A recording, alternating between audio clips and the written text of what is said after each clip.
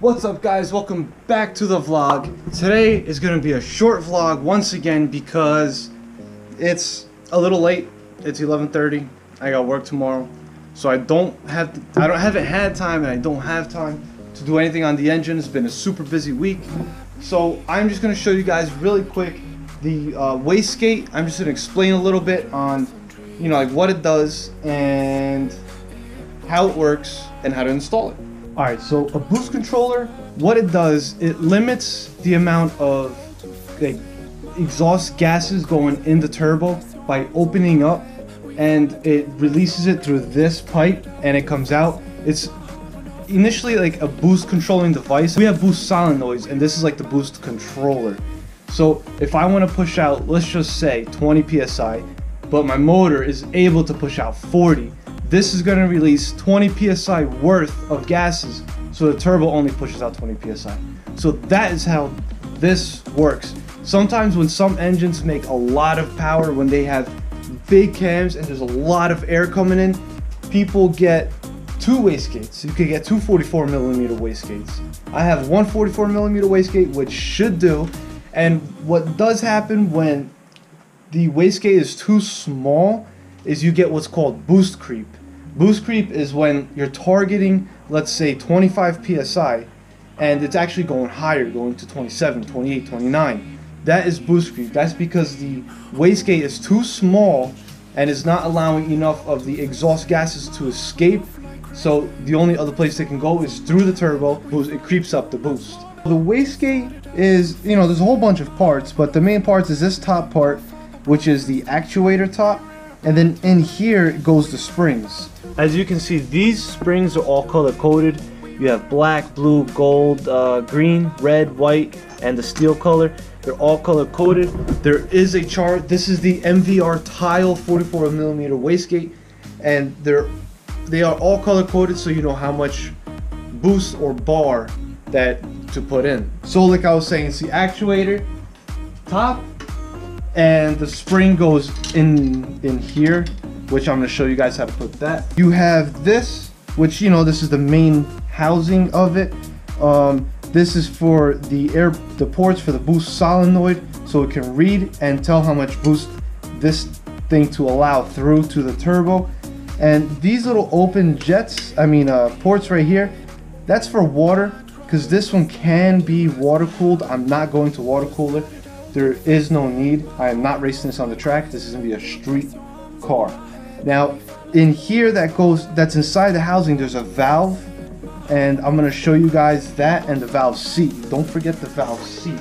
So if I take off the V-band, carefully, take off this, you can see right down here, here is the valve guide, there is the valve.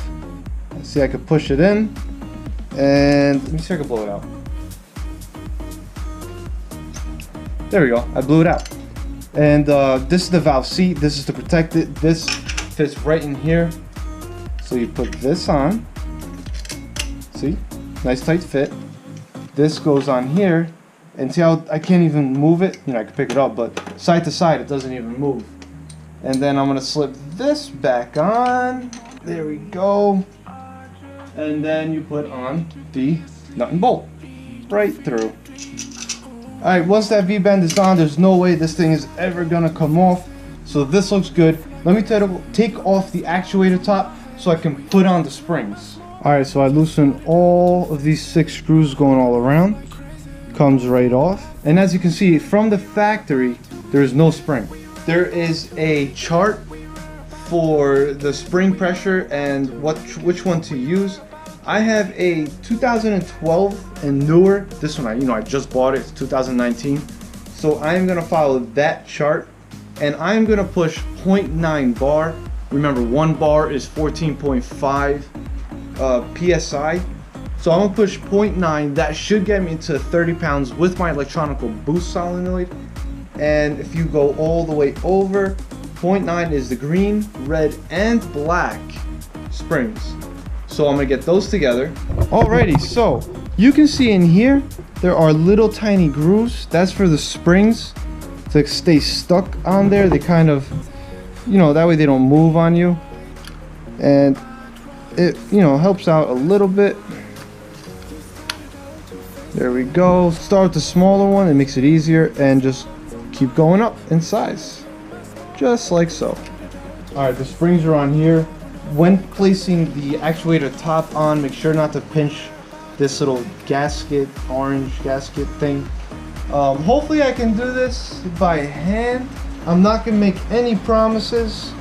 Uh, never done this before. Normally what you need is a vise and a clamp so you can push down because this is a lot of pressure.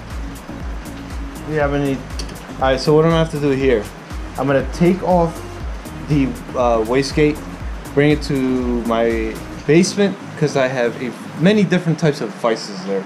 All right, so here we are in my basement. At it again. Let's put on these springs.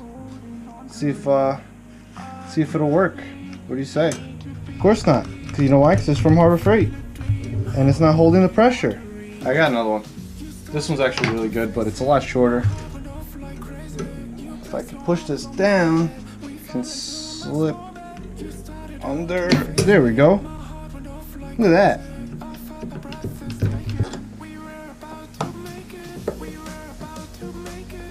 Alright, so they're somewhat on. There we go. Just want to make sure I'm not pinching the orange because I can still see a little bit through. Perfect. Alright then. Now I can just start tightening them down little by little. Crisscross pattern. Just like you were doing a tire. Alright, there we go. Uh, the actuator cap is on nice and tight. Remember how I was able to push this down easily before? Yeah, not so easy now because of all the springs. So now we come back here. Um, I have the air port with the banjo fitting. Don't forget the washers on either side of the banjo and tighten that up. Well, I'm not going to tighten it up all the way. I'm going to leave it loose because I'm not sure which direction this little guy is going. Um, so that will be tightened down later. But that is it guys. You now understand the wastegate. You saw it opened up and you saw it on, how to put it on. I'm not gonna go back outside to install this in my in my garage because it is pouring. I don't feel like getting soaked. It's already 12:15. I'm tired. Like I said, I gotta go to work. So again, thanks for sticking around, watching this video. Remember, go down and hit that subscribe button, hit that post notification button, because if you don't know, you should know. This wastegate is going on a 700 horsepower 2JZ swap S14. Really clean. If you guys don't know this, make sure you go back in videos and watch me get the motor, get the car, see why I'm doing this, because you know my original motor kind of broke.